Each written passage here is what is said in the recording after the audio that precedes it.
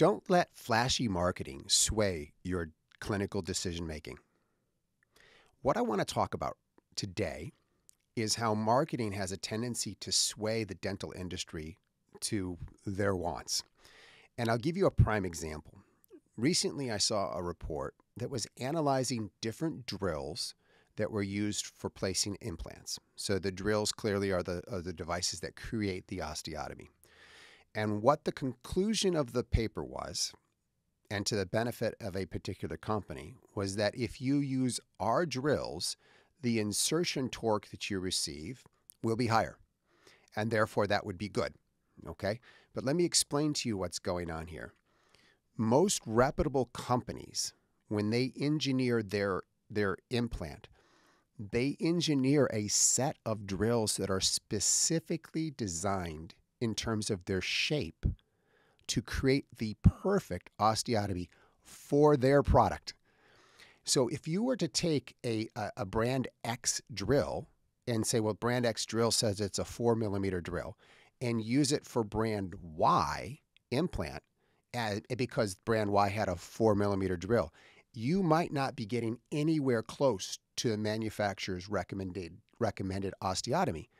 So what happens is is that we have different shapes to our implants. Some are parallel walled, some are tapered, and some are progressive tapered. All of those different shapes need to be taken into account when we design the, the actual drill.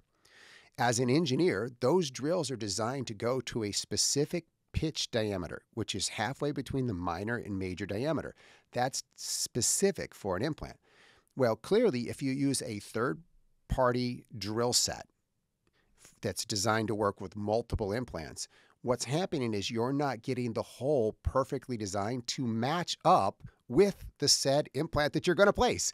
And clearly, some of those cases are going to result in less insertion torque, and some of them are going to result in higher insertion torque. But the conclusion of this paper that I referenced at the beginning here was that if you use this drill, you get better insertion torque. Well, clearly, if you undersize the osteotomy in some form or fashion, you will have more compression in the bone and therefore more torque during insertion. So that's no like that's science, right? But the marketing behind it was selling was selling dentistry on use our third party drills with your kits, with your implants to get better torque. And that's where where where the waters get a little murky. And i encourage you guys to make sure that when you're drilling your implants you are using the drills that were assigned to that implant system. Don't mix and match. That that's a that's a, a, a recipe for disaster okay? And and then off the record off the record if you want to do osteodensification you do know that you can put your drill in reverse, right? So we have the the flutes on the drill are clockwise cut, and when you put the drill in reverse, it doesn't cut, but it expands.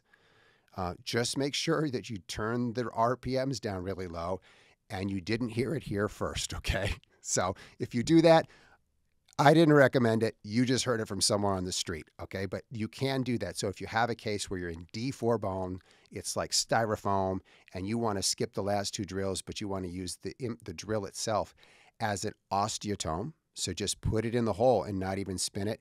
You, I do that sometimes, as well as put it in the hole and just reverse. Just put it in reverse a couple of turns is all it takes because you're in spongy bone that's D4. It's it's it's it's super soft. You don't have to spin it for a long time. Just spin it a little bit. It'll compress the bone and then move on to your final implant placement. If you like this video, give us a like, subscribe, and share with your friends. If you haven't had a chance to experience one of our courses, come see what you've been missing at Stanley Institute.